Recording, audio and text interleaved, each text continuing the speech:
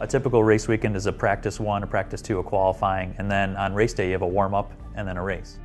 Qualifying at Road America is probably as important as anywhere. We have to put the car in the front, you know, we have to get the leg up. If we can make the car fast enough in qualifying, then we know it's going to be fast enough in the race.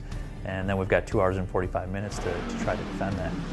Qualifying, certainly one set of circumstances, make the lap time, make the car as fast as you can around that full lap. When it gets to race day, though, we have to kind of account for how we're going to be able to defend a position or make up a position in a braking zone, which is the prime area that you pass at Road America. A lot of the time, our preparation, you know, really starts in that second practice session, so you have to really kind of be thinking pretty far ahead. We'll stay down there, the crew will practice some pit stops, and we'll get ready for the qualifying session. Any changes that have to be made to the car, we'll be forced to make those on pit lane. We'll typically prepare the cars for qualifying a little bit different than like a practice or a race. Absolutely required to make sure that the car is at the minimum weight. So that could mean, in our case, we have spare batteries in the car. So we'll have two batteries during a race to make sure that the car always has enough power to start, especially when it's hot.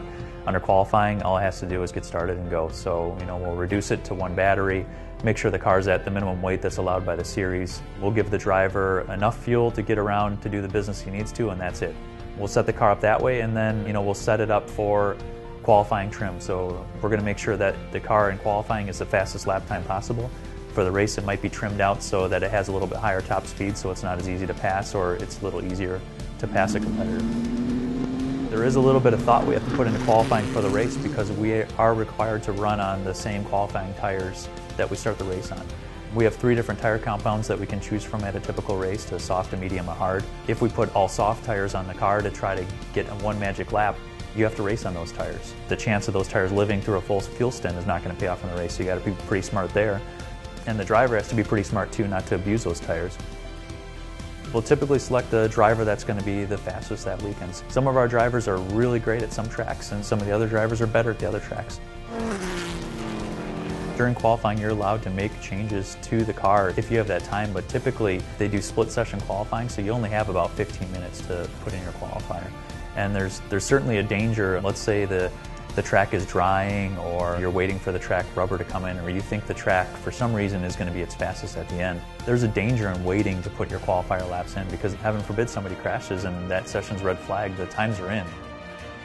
After qualifying then, it, the process kind of depends on how well you do. If you're on the pole or typically the first three positions, the car's impounded. So that means that the car has to proceed immediately from your pit lane you're not allowed to touch anything. It has to go to the technical inspection area where they'll weigh the car, they'll put it up on a lift, they'll look underneath, they'll make sure everything is compliant about that car. It seems easy, but you see a lot of teams make that mistake where they're two millimeters too low and that's in a, a technical inspection infraction and you get disqualified.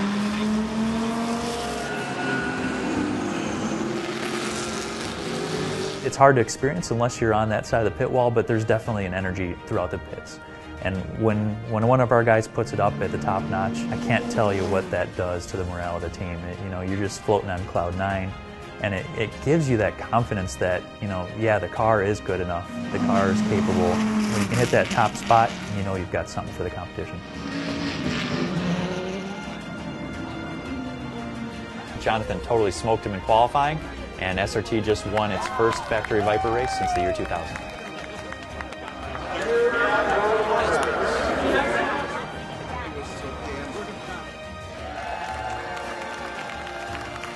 Getting in the front was huge because every car you have to pass in this class is a huge challenge. So putting it out in front and keeping it out there is a tremendous advantage.